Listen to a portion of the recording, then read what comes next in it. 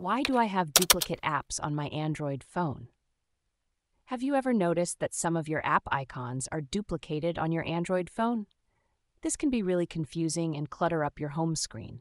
Let's figure out why this might be happening. One common reason is that you might have accidentally installed the same app multiple times from different sources. This can happen if you download an app from the Google Play Store and then again from another website or store. Another possibility is that your apps are syncing across multiple accounts. If you have multiple accounts set up on your device and you've enabled app syncing, it could lead to duplicate icons. App updates can also cause this issue.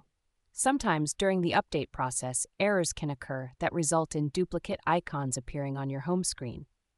Using third party launchers or customization tools can also contribute to this problem. These launchers might have bugs or glitches that cause apps to duplicate. Malware is another serious reason. Malicious software can replicate apps without your consent, so it's important to keep an eye out for suspicious activity and use antivirus software to scan your device. Software glitches or data corruption within the Android system can also lead to app duplication. These are rare instances, but they can happen due to bugs or errors in the system.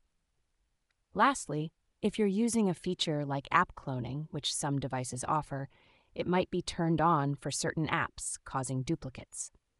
Understanding these causes can help you take the right steps to resolve the issue and keep your phone organized.